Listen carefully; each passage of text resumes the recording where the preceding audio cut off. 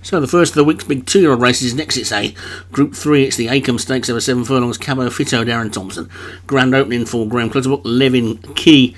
In McMilk, Lord of the Horses, Joshua Sutherland, Mayan Plan, David Robertson, Moderator Emery, and Momkin Zane Minister, Thomas Rogers, and Tartan Giga for M. McMilk. So, only a small field for this, and all installed and ready to go. Off they go, and small field for a big prize, Group 3, and Moderator Emery was quickly out on the outside the grey, but pulling for its head Levin Key, and Levin Key might be the one who's now going to go on. In fact, he's the one that's going on. He's gone four lengths clear from Grand Opening in second. Cabo Fito is third. Then comes Lord of the Horses, Mayan Plan.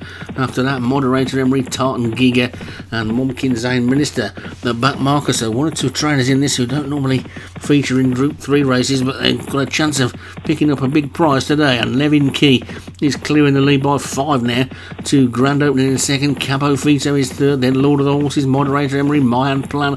After that, Tartan Giga is going to look for a split up the middle. The One that's going to try and come round the outside is Momkin Zane Minister, but it's Levin Key who continues to lead, but uh, about to be collared there by Cabo Fito, and Cabo Fito takes it up. Lord of the Horses is in second, Tartan Giga in third. The Grey Moderator Emery still going well on the outside, uh, and Mayan Plan is trying to run on. Grand opening looks a bit one paced, and Momkin Zane Minister's got work to do, also dropping away now. Tartan Giga, but it's Cabo Fito as they come down towards the final furlong, and Cabo Fito's got a length or so clear of Lord of the Horses in second. Moderator Emery throwing out big challenge on the outside, then comes Mayan Plan inside the final half furlong. Cabo Fito, here comes Lord of the Horses, and Lord of the Horses is getting close, and Lord of the Horses gets on to take it from Cabo Fito, fast finishing Mayan Plan. And the big guns still have it. It's a Sutherland, Thompson, Robertson, one, two, three. And it's got to tilt at Wimbledon and some of those other trainers, though.